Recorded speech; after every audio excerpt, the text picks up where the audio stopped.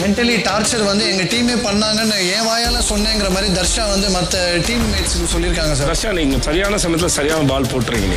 நேற்று நீ வேணுக்குமே தான் போயிருக்க தர்ஷா. சேதுபதி சாரே கேட்பாரு அப்போ நீ என்ன பதில் சொல்லுவேன்னு சொல்லும் போது அவள் அக்செப்ட் பண்ணா. எனக்கு அது சொன்னனால தான் எனக்கு ஒரு மாதிரி இல்லைம்மா இல்லைம்மா தர்ஷா சொன்னாரா இல்லையாம்மா? சார் எனக்கு சொன்ன மாதிரி இருந்துச்சு சொன்ன மாதிரி இல்லைம்மா சொன்னாரா இல்லையா? சொன்னாரு சார் பட் இவ்வளோ அவ்வளோ சொன்னாரா இல்லையாம்மா? Big Boss season eight